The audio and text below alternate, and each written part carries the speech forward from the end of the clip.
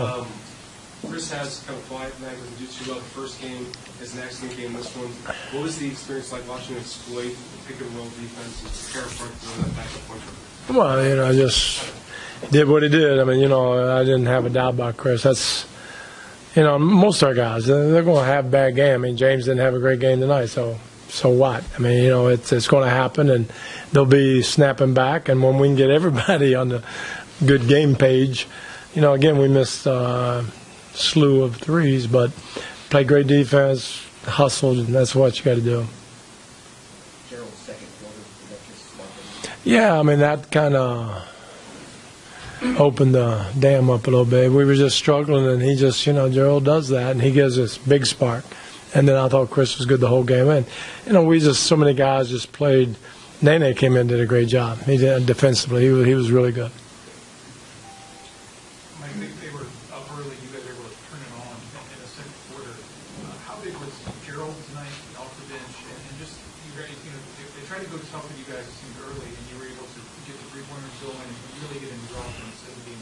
Well, you know, we didn't play very well the first quarter, obviously, and but they're only up five. It's twenty-three to eighteen, and then sooner or later we've got too many guys. There's somebody's going to catch fire. Uh, you hope, and if not, you lose that game. You go to the next one. But Gerald did it. He came in. We were struggling, and uh, he hit a couple threes, opened it up, uh, and then once you see the ball go in, and once you get the monkey off your back, all that stuff, then. Uh, um, you know, we played pretty well for about two and a half quarters. Defensively, played well the whole game, and that's what it takes. And uh, you know, it's good to see. I mean, it's not like I'm sitting there going, "Oh yeah, we're cool." No, I'm, I was sweating like you guys. But um, um, at the end of the day, uh, I thought defensively, and Gerald, and then Chris, and guys contributed. Yeah, I thought so. I, I do. that. So you mentioned, uh, you mentioned game, after game one, that things happened that, that had it happened the previous year, the team wouldn't have been equipped to, to overcome it. You go, James goes two for eighteen tonight, to overcome the same kind of thing with, with what, with what position you have. Without a doubt. And again, offensively, we were just okay. I thought uh, we can play a lot better, and and but if we can withstand, you know, Chris having a bad game the first one, James on the second one, then you know things are pretty good. Coach Max Edison, Houston Defender. Sunday, we talked about Karl-Anthony Towns with only eight points, and we knew they were to try to get him off early. But our rotation between the Nene and uh, Capela, and then switching him, uh, just talk about the defense that was played on uh, on Carl Anthony. Five points tonight instead of eight. Well, you know, great players like that, they, they do have off now. He's a big focus for us, and uh, we can run multiple guys at him, and we try to run him on the offensive end to tire him out. Then Nene comes in, and he's got a lot of muscle on him, and you know, we're just trying to wear him out as much as we can, knowing that I mean he could explode on Tuesday night, and but he's an all-star and he's a great player. But uh, we've had some success so far, but you know, we won't think that's us so much as just having a bad game. Like you know, James is two for 18, so not that they do something different. It's just not having a great game. Going back to that, Jonathan Payton used some comments.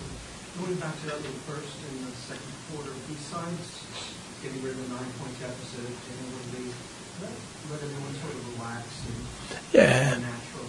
I think so. And I, you know, now I'd be very surprised if, you know, again, first couple games, and it's almost a blessing. I was talking to somebody that we struggled the first game because a lot of times you come out that first game, you you win by a lot because you're so ready to roll, and that second game makes it really tough.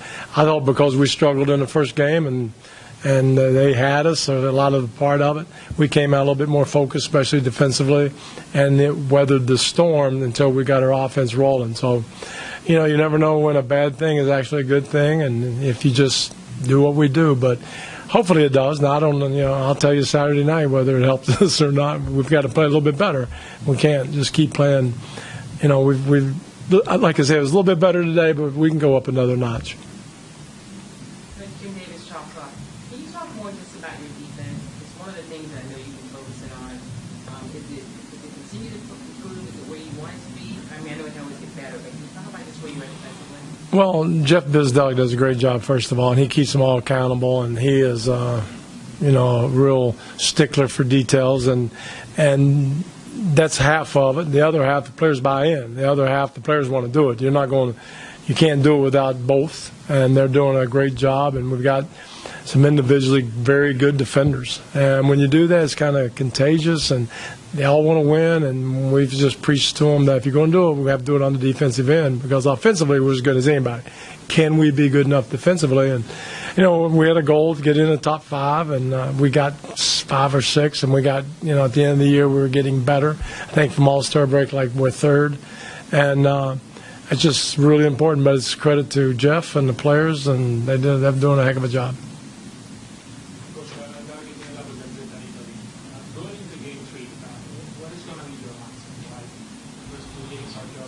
Game? Well, we just, we just told them that you know it's um, first of all the series doesn't start until somebody loses on home floor. So we did what we're supposed to do. We held serve. Now it's on them. That's one. And then whether you win or lose, we're going to try to stay even kill. And we've always gone all year with the motto of you know so what what's next and so what we're up 2-0 so what you know can we win Saturday and that's going to be our mindset and we're going to try everything we can to win Saturday. played against some desperate teams in the beginning of the regular season. Does that get you ready for what you're likely to see in Minneapolis and Texas? Um, it could. I don't know. It's a good question. I haven't really thought about it.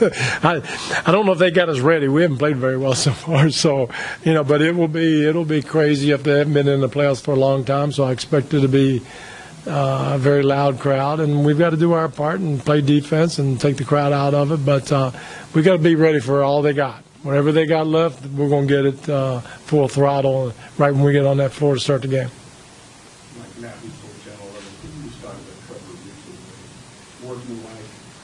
every minute, maybe nothing flashing, flashing most times, but it just continues to keep pounding, like when things weren't going right there, the captain just kept going, making plays. Yeah, he, you know, he's always playing good defense, and he leaked out a couple, got a couple layups, kind of broke him up a little bit, and then he hit a couple threes, which he's he and a bunch of guys haven't been making. So I was happy for him to see the ball go through the net. But he's he's really important what we do, and you know, I can play him 34, 35 minutes. He doesn't get tired. There's a lot of good things that he brings to the table.